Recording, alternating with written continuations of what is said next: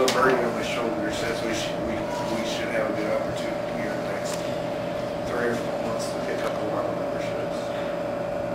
From, Competitor here in town, I'm sorry? a competitor here in town.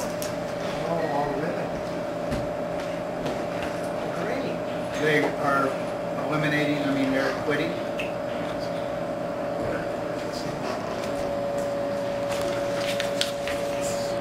Where we'll keep it right there, then. Okay.